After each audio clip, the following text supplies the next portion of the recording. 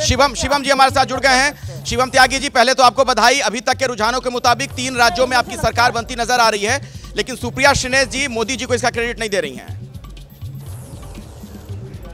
सुप्रिया श्रीनेश जी से ये हम उम्मीद भी नहीं कर सकते कि वो इस जीत का क्रेडिट मोदी जी को दें। आखिरकार उनसे तो ये उम्मीद नहीं की जा सकती। लेकिन मत पड़िए, आप चक्कर में कोई नहीं है टक्कर में। आदरणीय प्रधानमंत्री जी का चेहरा, आदरणीय प्रधानमंत्री जी की नीति, आदरणीय गृह मंत्री जी का मैनेजमेंट तमाम तरह की बातें उठी थी कि मिनिस्टर्स को उतार रहे हैं, सांसदों को उतार रहे हैं, भारतीय जनता पार्टी डरी हुई है, और न जाने क्या क्या अब से तीन महीने पहले के ओपिनियन पोल्स देखे तो उसमें साफ़ साफ़ आता था नज़र और लोग कहते थे कि भारतीय जनता पार्टी 50 का आंकड़ा भी पार कर ले तो बहुत बड़ी बात हो जाएगी मध्य प्रदेश में। एंटी इनकम्बेंसी से प्रो इनकम्बेंसी को कैसे कन्वर्ट किया जाता है? राजनीतिक मैनेजमेंट किसे कहते हैं? चेहरा किसे कहते हैं? मुझे लगता है देश देख ले। 2024 का एक छोटा सा ये ट्रेलर है। आने वाले समय में क्या होने वाला है, ये देश जानता है। और बड़ी इंटरेस्टिंगली मैं तो सिर्फ़ ये कहना चाहूँगा कि तमाम सारी चीज़ें करने के बाद, तमाम मेहनत के बाद अगर ये हाल है तो आने वाले समय में 24 में क्या होगा ये देश देखेगा। लेकिन इससे भी महत्वपूर्ण विषय ये है कि 18 साल की सरकार के बाद भी अगर भारतीय जनता पार्टी मध्य प्रदेश में इतने प्रचंड बहुमत के साथ आती है तो ये दिखाता है कि कहीं ना कहीं भारतीय जनता पार्टी और कहीं ना कहीं जिस तरह की चीज़ें और जिस तरह की नीतियाँ रही और जितनी भी हमारी पॉलिसीज़ रही वो बेहद शानदार रही सक्सेसफुल रही। ऑन टू द कॉन्ट्ररी जितना कांग्रेस ने जो भी चीज़ें कही जो भी माहौल रहा मुझे नहीं लगता कहीं पर भी ग्राउंड पे दिखा लेकिन हाँ फिर भी तेलंगाना में जिस तरह का सर्ज उनका रहा उनको बहुत बहुत शुभकामनाएँ वो बेहतर था। चलिए रोमाना भी आपसे कुछ सवाल पूछना चाह रही थी। रोमाना? बिल्कुल मुझे लगता है सुप्रिया श्रीनेत का जरा रुक करते हैं और उनसे समझने की कोशिश करते हैं। सुप्रिया जी आ, अगर राजस्थान की बात की जाए या छत्तीसगढ़ की बात की जाए तो दोनों जगह कांग्रेस की सरकार और अभी नंबर ये बता रहा है कि दोनों जगह से कांग्रेस की विदाई हो रही है।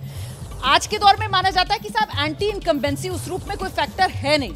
लेकिन क्या जहाँ कांग्रेस की सरकार है वहाँ एंटी इनकम्बेंसी आज भी फैक्टर और जहाँ बीजेपी की सरकार क्योंकि मध्य प्रदेश आप देख लीजिए वो बीजेपी वापसी कर रही है। शिवराज सिंह चौहान फिर से सत्ता में आ रहे हैं। आप इसे किस तरीके से रीड कर रही हैं?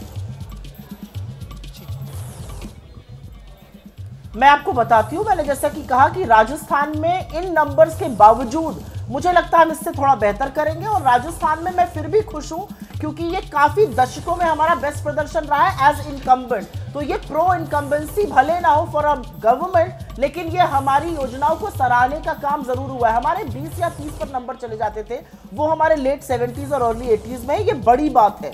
ये योजनाओं का ही इफ़ेक्ट है। और छत्तीसगढ़ में जैसा कि मैंने कहा मेरे नंबर बता रहे हैं कि हम सरकार बना रहे हैं जो हमारा इंटरनल असेसमेंट है तो उसको मैं प्रो इनकम्बेंसी मानकर ही चलूँगी। तेलंगाना में एक रीजनल पार्टी को हराकर जीतना भारतीय राजनीति में बड़ी बात है ऐसा कम हुआ है और तेलंगाना में यह हो रहा है। इस बात को मैं सहर्ष स्वीकार करती हूँ उस जनादेश को और मैं खुश हूँ कि तेलंगाना ने एक बड़ा परिवर्तन सुप्रिया जी मेरे साथ अभय दुबे जी मौजूद हैं वरिष्ठ पत्रकार। वो आपसे एक सवाल लेना चाह रहे हैं अभय जी। नमस्ते सुप्रिया जी। मैं अभय बोल रहा हूँ। और मेरी जिज्ञासा केवल मध्य प्रदेश के बारे में है। आपने छत्ती, आपने छत्तीसगढ़ के बारे में और राजस्थान के बारे में जो कहा है और तेलंगाना के बारे में जो कहा है, मोटे तौर पर मैं आपसे सहमत हूँ।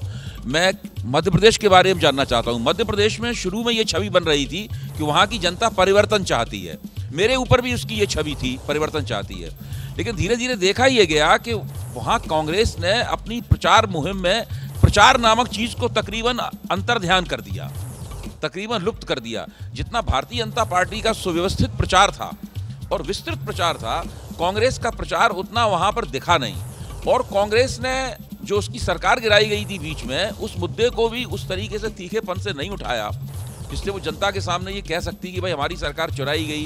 गई मतलब। तो वहाँ पर वहाँ पर कांग्रेस रणनीति के प्रश्न पर 18 साल पुरानी सरकार जिसके खिलाफ एंटी इनकम्बेंसी दिखाई पड़ रही थी थकान दिखाई पड़ रही थी वहाँ पर इतनी बुरी तरीके से कांग्रेस हार रही है इसके बारे में कुछ बताइए। बिल्कुल बिल्कुल बिल्कुल। जी हाँ। नहीं आपका सवाल सर आँखों पर और मुझे भी हतप्रभ हूँ मैं कि हम कैसे इस तरह का जनादेश आया क्योंकि ऑन ग्राउंड फीडबैक कुछ और लग रहा था। जितने लोग वहाँ पर गए उनको लग रहा था तो सिर्फ़ हम ही ने गलत नहीं पढ़ा था। मुझे लगता है कि शायद शिवराज जी ने जो स्कीम्स लॉन्च करी उनका ज़्यादा इफ़ेक्ट हुआ।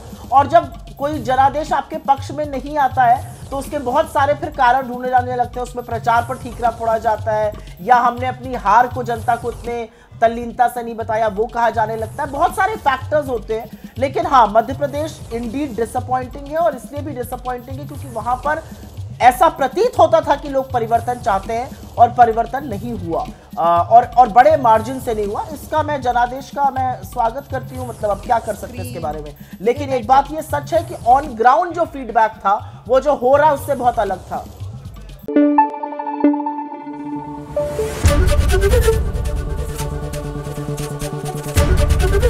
एबीपी न्यूज़ आपको रखे आगे।